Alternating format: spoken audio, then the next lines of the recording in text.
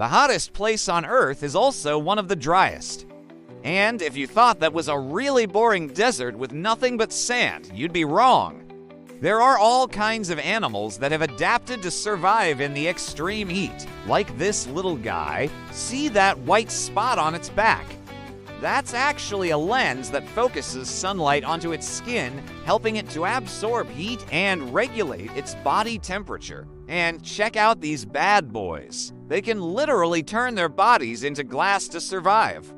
The reason they're able to do this is because of a reflective material called guanine, which is also found in our skin cells. But unlike us, they have way more of it.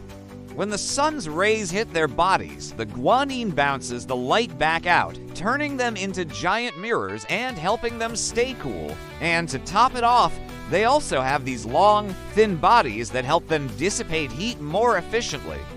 So, next time someone says that animals can't survive in the desert, just break your phone and tell them to take a hike.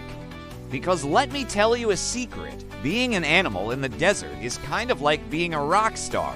You get to be hot, you get to be cool, and you get to be both at the same time.